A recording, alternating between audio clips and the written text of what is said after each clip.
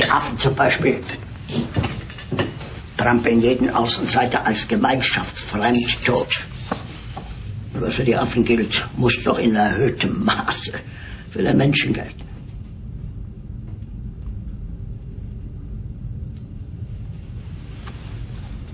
Himmler hat in Lübeck den Westmächten ein Kapitulationsangebot gemacht. Bei der Grafenweiler Dotter. Der englische Rundfunk berichtet das.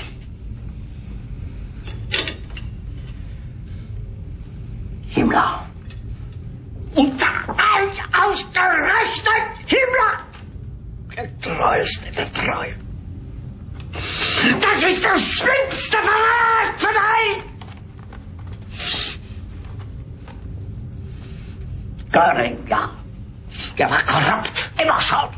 Speer, ja. Ein wildfremder, unberechenbarer Künstler. All die anderen, ja, ja, ja, ja, ja. Aber Himmler, da ist er wahnsinnig geworden. Um sich zu autorisieren, behauptet er, ich wäre krank. Ja, vielleicht schon tot.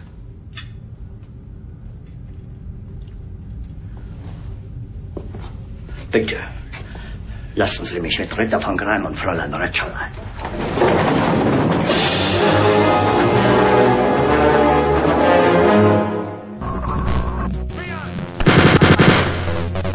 Todd Hund!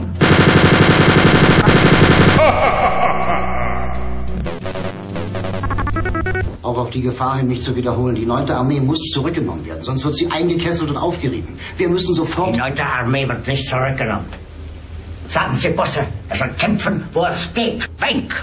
Soll mit der 12. Armee die Sache unterstützen. Dann soll die Armee kehrt machen! Spion! Haben Sie noch Zweifel an einem Befehl? Ich glaube! Fußball! Jeder hat mich belogen, sogar die SS! Die gesamte Generalität ist nichts weiter als ein Haufen niederträchtiger, treuloser Feiglinge! Todd Hund! Das Feiglinge! Mein Führer, was Sie da sagen, ist ungeheuerlich. Das ist das Geschmeiß des deutschen Volkes! Sie ist ohne Ehre! Sie nennen sich Generale, weil Sie Jahre auf Militärakademien zugebracht haben, nur um zu lernen, wie man Messer und Gabel hält!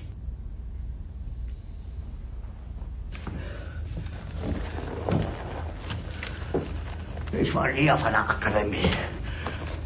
Und doch habe ich allein, allein auf mich gestellt, ganz Europa erobert.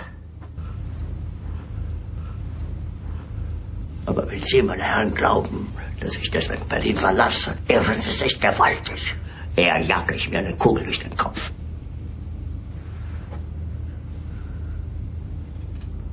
Tun Sie, was Sie wollen. Die Allied Rheinkorn